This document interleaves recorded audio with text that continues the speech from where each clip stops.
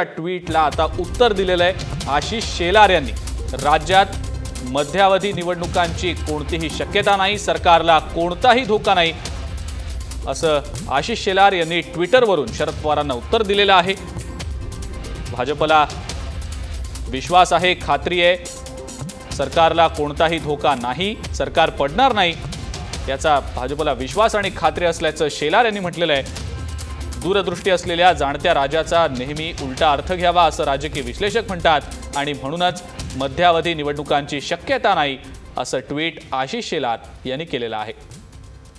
सरकारला कोणताही धोका नसल्याचे मुख्यमंत्र्यांनी नुकतंच स्पष्ट केलेलं आहेच. तसा भाजपला विश्वास आणि खात्री आहेच अशा आशयाची ट्विट्स आशिष शेलार यांनी केलेली आहेत. सरकारला कोणताही धोका नाही असं आशिष शेलार यांनी ट्विटच्या माध्यमातून स्पष्ट केलं आहे याच संदर्भात अधिक माहिती आपण जाणून घेऊया.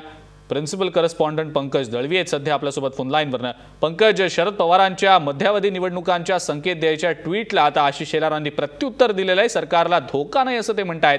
काय नेमकं याबद्दल सांगतायत? अजिंक्य ज्या पद्धतीने अ, ट्विट केलंय त्याच्यात त्यांनी म्हटलंय की शरद जाणता राजा जे बाकी करतात त्याच्या नेमकं उलट होतं असं राजकीय विश्लेषक म्हणतात. म्हणजे शरद पवारांनी मध्यवर्ती निवडणुकांचं भाकीत केलंय म्हणजे निवडणुका होणार नाहीत.